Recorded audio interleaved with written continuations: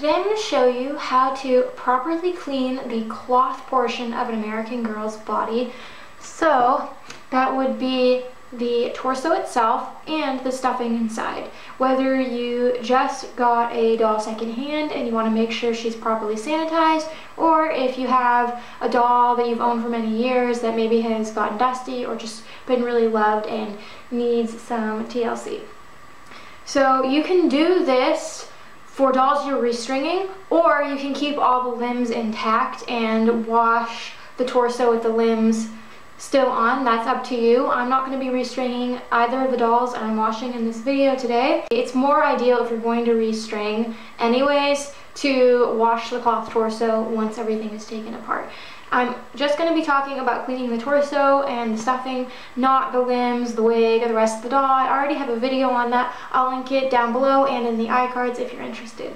So today, I'm going to be cleaning my childhood Felicity doll's body. I got her for Christmas in 1998, and she was very loved. Do not be deceived by how nice she looks right now. Uh, I played with her a ton, and I used to play with her outside in the woods. So her body is definitely dirty. It doesn't look as bad as it once did. I've never washed her actual stuffing, so I'm sure it's going to be pretty gross. And I also have Leah, Girl of the Year 2016, who I got at the flea market this past weekend. And although she looked pretty nice when I got her, she was still obviously used and quite a few years old. So I'm going to wash her too. And I chose both of these dolls because this will help you if you're dealing with an older doll who has neck strings or if you have one of the newer dolls with the zip ties, I'll show you how to handle both of this. So without further ado, let's get to it. Okay, so we're gonna start with Felicity who has neck strings. So these need to be untied. Now, the first order of business is to remove all the stuffing and you're gonna want a pillowcase to put the stuffing in because the most convenient way to properly wash the stuffing itself is to just put it in a pillowcase, tie a knot, and put it in your washing machine. I've tried like hand washing the stuffing in the past before and it takes forever to dry and it just doesn't do a really good job. And you can even toss the stuffing in the dryer because it's no different than a stuffed animal. Now depending on how old your doll is um, and how much they were knotted, it might be more difficult. So I like to use something flat like a little screwdriver you want to be careful. You don't want to like go too aggressively because you can accidentally separate out the fibers. But you want something small enough to kind of get in there and help you loosen the knot.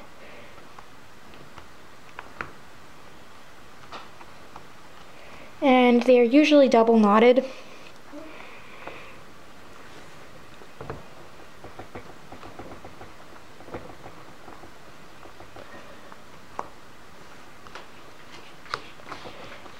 If you have really um, sharp fingernails, you probably don't even need this, but I never have long fingernails. So you're to take the head off and then kind of like loosen it up. She was actually triple knotted. And um, I made sure to pick two different pillowcases so I would know whose stuffing was whose. It doesn't really matter. Uh, the old dolls are probably going to have a little bit more stuffing, but it's the same thing. So I'm just going to take it out and load it all up. You want to make sure to get all of it and you'd be surprised how much comes in an American Girl. Also, um, if you just want to replace the stuffing, that's definitely an option too. You can just use like polyfill or whatever. I know some people like to just replace the stuffing. I wash it though. And once all the stuffing is out, you're going to have just the empty body. Um, and like I said, this is where if you're going to be restringing them, you would want to cut off all of the limbs here. But I do not need to restring my Felicity very impressively. She actually still is factory strung and is still reasonably tight. We're just going to move that aside. Now, for dolls with zip ties, I have I don't have as many of these in my collection and I haven't had to take many of them apart so it's still something I'm learning to finesse with but you're gonna need a little seam ripper or something to cut the thread so you can see where the seam on her back is the zip tie is actually like sewn into the back of the neck, so you're gonna need to like open it up. It is really, really tight. So it gets very difficult to get in here and you need to be really careful because you need something sharp enough to cut the zip tie, but you have to be careful not to scratch the plastic. You want to be really careful of that. So I have these wire cutters. And there we go. Now her head's off. So now you have to work out the rest of the zip tie because you can't reuse it. You will need a replacement zip tie or you can buy neck strings. Some people replace them with neck strings. It's really whatever you prefer. And you can see how little itty bitty it is. So you'll need a pretty small replacement zip tie. I'm just gonna put another zip tie on her later because I bought some when I had to fix my Kanani doll whose neck strings were actually cut off. So that is something too, if your doll has cut off neck strings, you can replace them with a zip tie. And we're just gonna do the same thing with Leah. We're gonna empty all of her stuff into a different colored uh, pillowcase, so I know she has a Harry Potter pillowcase. Both of their bodies are empty. Of, they're free of stuffing. I already washed um, Leah's limbs and Felicity looks pretty clean. You can wash the cloth torso before or after the limbs if you want. It like it doesn't matter. You need a container to put the bodies in. Now you're probably thinking, what about the hollow limbs? Aren't isn't water gonna get inside? Uh, it will, but you can always shake it out. It's not the end of the world. I do this all the time and I just, you'll hear the water sloshing around. You just make sure to shake it really good, but we'll get to that part when I'm ready to hang them to dry. So that's why if you're gonna restring them, it's easier just to wash the body when they're apart because then you don't have to worry about that, but you absolutely don't have to take them apart. So you're gonna need laundry detergent. I, uh, homemade laundry detergent because I don't really use store-bought laundry detergent, but you can use like whatever brand you want. Just make sure if you're using like dyed laundry detergent, you know, if it's blue, make sure you don't like pour it directly on the bodies because sometimes that dye can stain things. But as you can see, mine has no color. So I'm gonna put it in there. And now I'm gonna fill this up just enough so that the bodies are covered. And I'm gonna make sure all my laundry detergent is broken apart. Now you can use cold water, hot water, whatever you want. If they're stained, if say somebody doodled on the torso, which my Kanani doll was colored on when I got her at the flea market, uh, you can put OxiClean or any kind of stain removal product in here. Obviously you don't want to use like bleach because that'll discolor the torsos. But yeah. And these um, torsos don't bleed they're basically like a muslin, so there you don't have to worry about the dyes bleeding. And you can see the water is already kind of a funky color, probably from Felicity's body. So I'm just going to leave these guys to sit for a while. Depending on how dirty the doll is, you'll want them to soak maybe a little bit longer.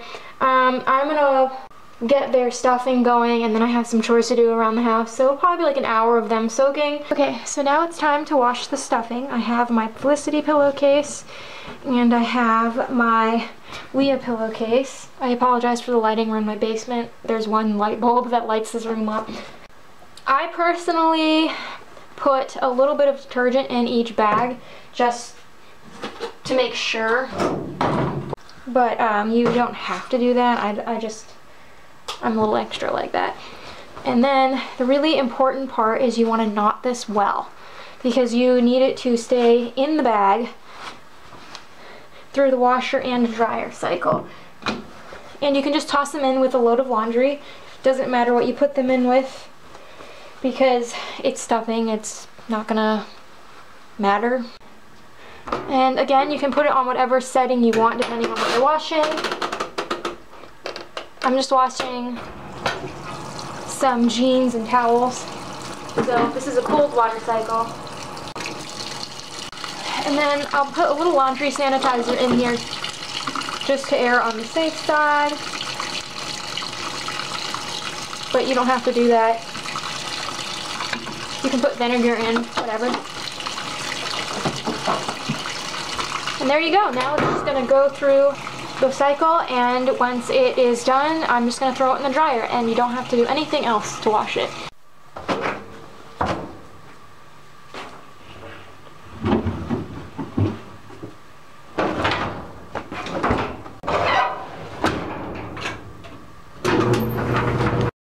So the bodies have soaked for a little while.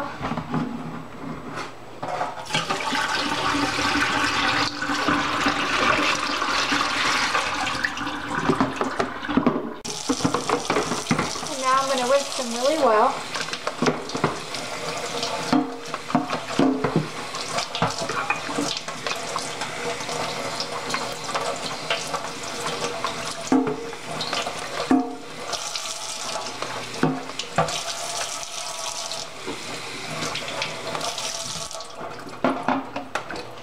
And I'm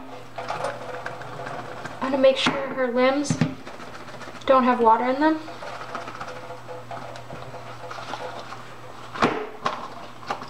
Nope, no water. You would be able to hear it. Sounds like sloshing.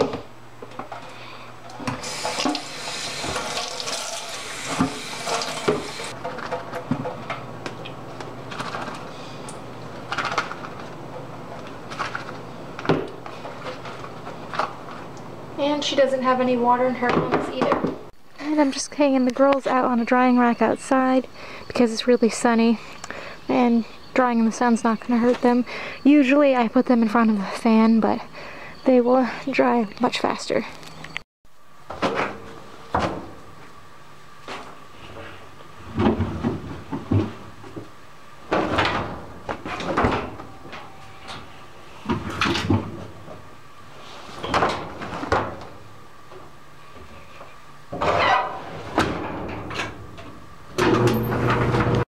So Felicity's stuffing needs a little bit more time in the dryer, but Leah's is all set. So this part is the most difficult because you really have to make sure you pack all of the stuffing in really well.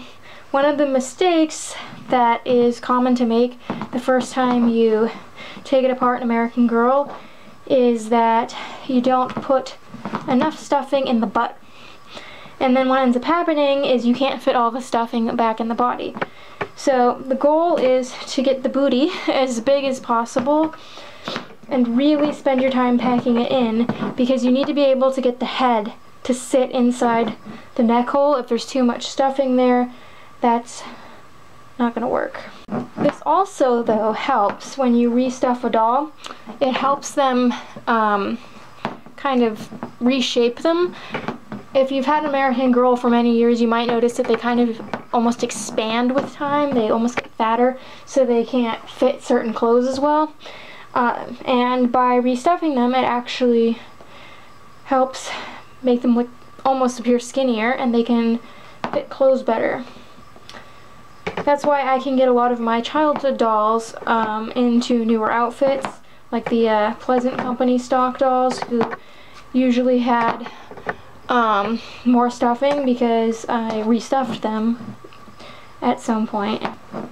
So yeah, you really want to make sure that this is filled. And they have a lot of stuffing, so it's going to feel like it's never ending. And it's important to flip the doll around a few times while you're doing this so that it's not lumpy anywhere.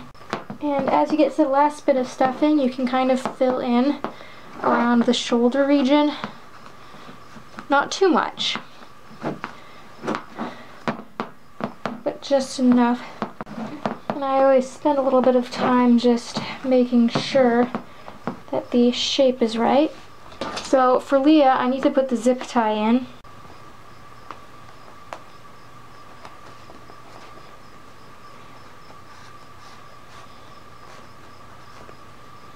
So I'm just fed it through, but I haven't tightened it yet. And we're gonna get the head. I did um, wash her hair again while her body was washing because her hair was kind of dry. So then you want to seat the head in. And um, honestly, it helps if their head is like backwards. So you don't have to worry about the hair. And it's a little bit easier with a zip tie to get the head tight. So you want to make sure it's pushed down and straight. And then you can kind of make little adjustments and tighten it up all the way. And there you have it. Um, you can always stuff the zip tie back inside this, the little um, sleeve here and sew it back, but I don't. I always keep it with the little zip tie sticking out, just in case I need to get back in there for some reason. Okay, so I stuffed Felicity's body the same way. And we're going to put her head on backwards too. And you want to make sure that it's pushed, the head is pushed pretty low and there's no stuffing sticking out because um, you want the head to be on really securely. So this is kind of where it gets tricky.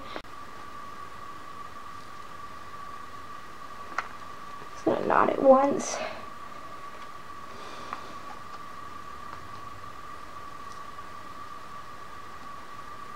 So you want to make sure to get it tight, which obviously takes some finessing. Double knot it. And there you go. Uh, my recommendation, if you have white bodied dolls, they have really um, crappy neck strings. They're really like thin and prone to breaking. So I kept the neck strings in but slid a zip tie inside too. So they're actually, my Samantha and Molly are actually closed with zip ties, but they have their original strings. I'll show you what I mean. So this is my sister's white bodied Molly. These are really, really thin and fragile. My Samantha's are actually even flatter and more like shoelaces. So um, they're very prone, especially when they get wet, to breaking. So you can see the top of the zip tie here. She still has her original strings. So they're not gone, but I'm actually securing her head closed with a zip tie. I did this when I uh, washed her body. And here we have the girls all cleaned and dressed up. It's funny how they're both in their meet outfits. My dolls usually don't wear their meet outfits, but that's just what she had been wearing for a picture and what I got her in. I do want to say that it is really important if you have an old doll, even if they don't look dirty, um, if you go to wash them like their hair and their body and their cloth torso gets wet, sometimes the dust from that collects inside their stuffing will actually cause like brown ring marks on the body. So especially on dolls with the white muslin bodies, that white is not forgiving. It's very thin. Their torsos are actually really cheaply made. They have like super funny sockets and everything. I recommend if it's used all and if they're old or if you've had them on display a long time, you might as well just take apart their body and wash everything while you're restringing or while you're initially making them over because it's going to make your life a lot easier. I wish I had done that with my 80 Samantha because I cleaned her but I didn't think her torso needed to be cleaned and then I got ring marks and I ended up having to take her all apart again and clean the um, ring marks. So yeah, their bodies do collect dust, which is why I washed Felicity. So I hope you enjoyed and that this video could help you out. This also works on Bitty Baby dolls. They are put together pretty much the same way. Instead of being strung though, their limbs are glued into the sockets, but you can definitely do this on them too. Or um, dolls that are similar to American Girl with the cloth bodies. As long as you can get into the body and um, disassemble the stuffing, you can wash it the same way. Stuffing is stuffing, and cloth bodies are cloth bodies. So I hope you enjoyed, and until next time, love your dolls, love yourself, and love your life.